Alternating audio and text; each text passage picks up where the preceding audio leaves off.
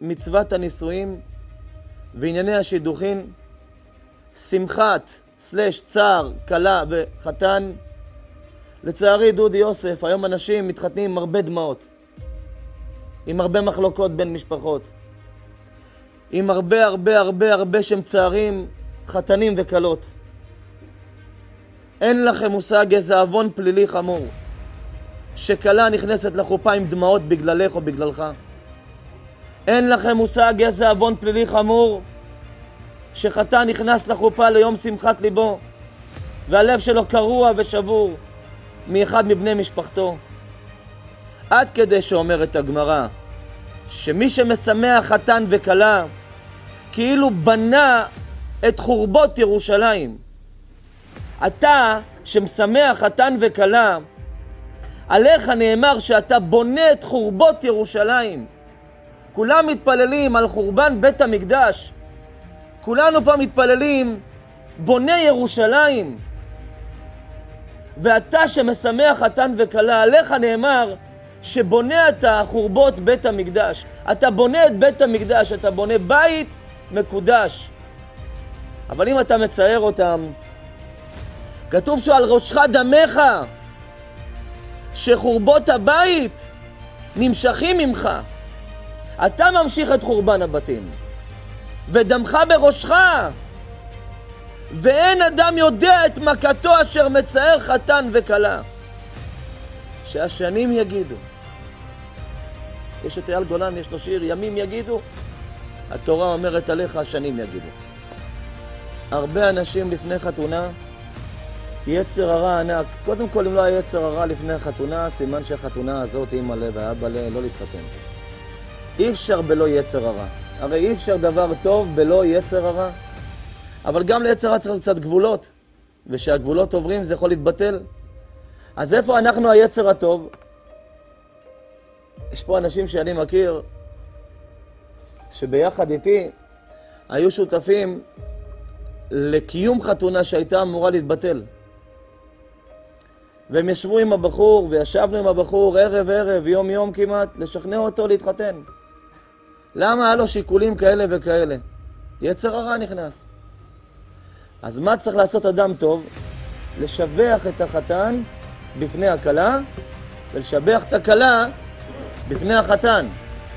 ובזה אתה מתקן אפילו אם פעם אבא שלך, אימא שלך או אתה, או חס ושלום בגלגול קודם ביטלת או ציירת חתן כלה, או ביטלת חתונה, וזה שעכשיו בזכותך החתן בכל זאת התחתן, בין צלח, בין לא צלח, בין הצליחו, בין לא, אם בזכותך הוא הלך על המהלך הזה עד הסוף, ועוד עוד יותר, עוד יותר הצליח, אז זה תיקון גדול על מה שבגלגול זה או קודם, או הוריך, או אביך ואמך, אפילו קודמים להם, חס ושלום פעם ציירו חתן וכלה. אני רוצה לספר לך משהו. בשנת 2013, בוא בוא תקשיב דודי, אולי נבין קצת יותר. הייתה כלה שהתחתנה לפני עשר שנים. וזאת אחת שחגיגה את כל השמחות של כל החברות שלה.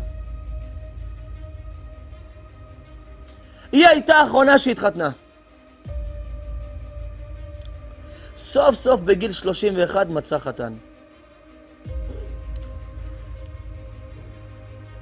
וכל החברות שהיא שימחה אותם, קנתה להם בגדים, ליוותה אותם, הייתה שם, שילמה להם, הוציאה הלוואות מהבנקים בשבילהם, בגלל שהיא התחתנה עם איזה בחור מסוים, בגלל שהוא לא מהעדה או לא יודע מה, בגלל הפרש הגילאים שהוא היה בן 38 או 9, השבע, שמונה שנים היה too much, היא הייתה בת 31, הם לא באו לחתונה שלה.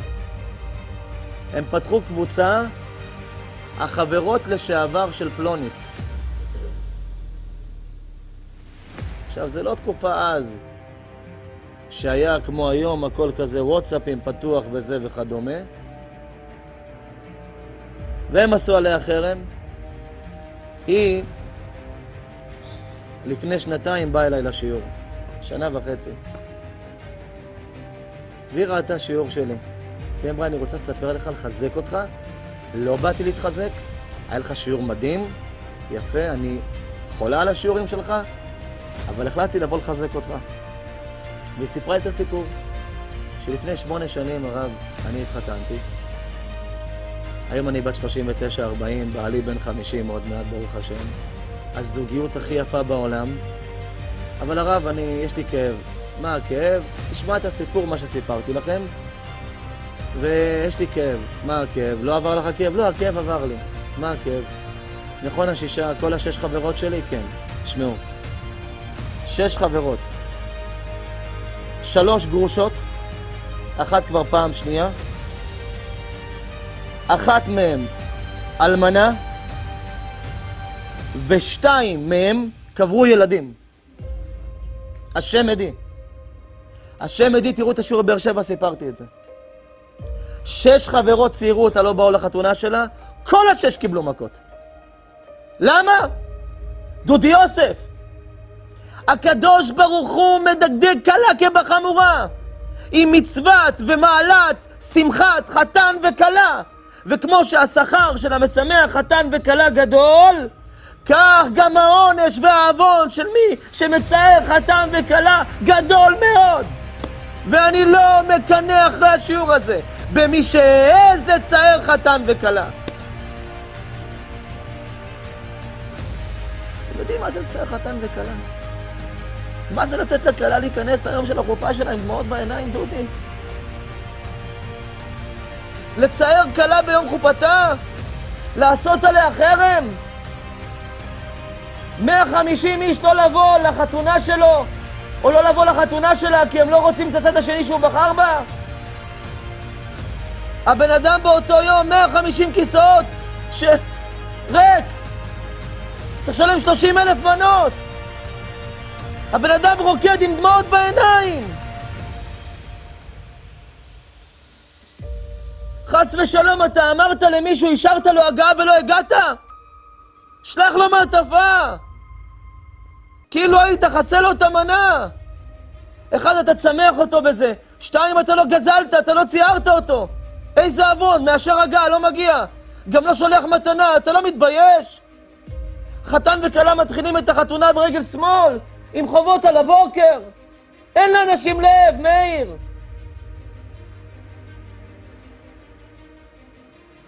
כמה אדם צריך להילחם למען חתן וכלה?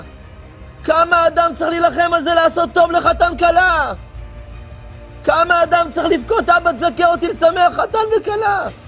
יצאתי משיעור בדימונה, בא אליי בחור, אמר לי, תגיד לחתן מה שהוא צריך. ההוא אמר, תגיד לכלה מה שהיא צריכה. איזה כיף, אתמול בבאר יעקב בא לי אחד, אמר לי, הביא לי חבילה, אמר כך, כך זה לחתן כלה. אם איך שערות תדבר איתי. איזה כיף, אנשים שומעים שיש חתן וכלה חסרים. הלב שלהם נפתח, למה? יש לך לב שנפתח זה זכות. אתה משמח בחור ביום הכי שמח שלו. דודי יוסף, יום החתונה זה היום הכי שמח של האדם. בין אם הוא ישמח אחרי או לא ישמח אחרי. עצם זה שהוא כל כך מחכה לזה. עצם זה שהוא כל כך מצפה לזה. עצם זה שהוא כל כך מתכנן את זה. עצם זה שהוא כל כך פילל על זה. עצם זה שהוא כל כך מתכונן ואוסף על זה. עצם זה שהוא מתרגש לקראת זה. זה היום, יום שמחת, יום שמחת ליבו. הלב שלו באותו יום, הוא, תבין, הדרגה שלו מתפוקקים עבירותיו. הוא הופך להיות מלאך. האנשים עוצרים באמצע רחוב חילונים, רואים חתן, ברך אותי ברכת חתן, ברך אותי. אומרת הגמרא חתן ביום חופתו, ברכתו כברכת נביא ישראל קדוש השם.